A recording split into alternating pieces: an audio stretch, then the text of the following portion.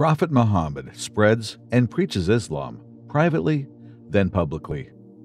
Prophet Muhammad, peace be upon him, was walking and heard a sound.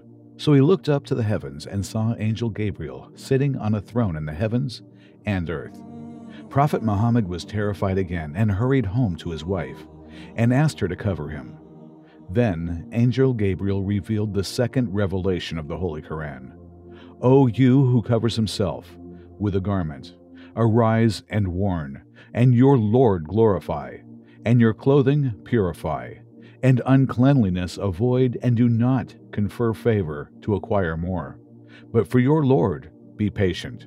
Quran 74 1 through 7. For the first three years, Prophet Muhammad started to spread the message of Islam privately, one on one, to his close family and friends that he thought would be interested in Islam freeing them from the practice of their forefathers and the worship of false gods, and did not publicize the message yet.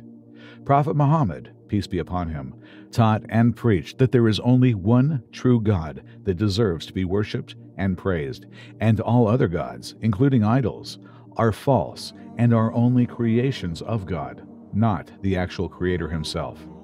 He taught them that the one that believes in God and lives a righteous life would live a good life in this world and would be awarded paradise in the afterlife, in which they could live forever. He also warned those who do not believe in God that they would live a bad life in this world and be punished severely in the next world. The first person to accept this message of Islam was his wife Khadijah, as well as her cousin Waraqah. The first slave to convert was Zayd, the first child to convert was his cousin, Ali bin Abi Talib, and the first free adult to convert was his best friend, Abu Bakr as Siddiq. Peace be upon them all. After three years of secretly struggling to spread Islam to his close companions, Prophet Muhammad converted 30 people.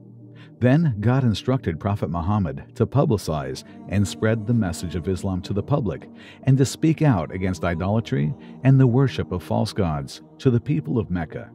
Then, later, to spread the message beyond Mecca.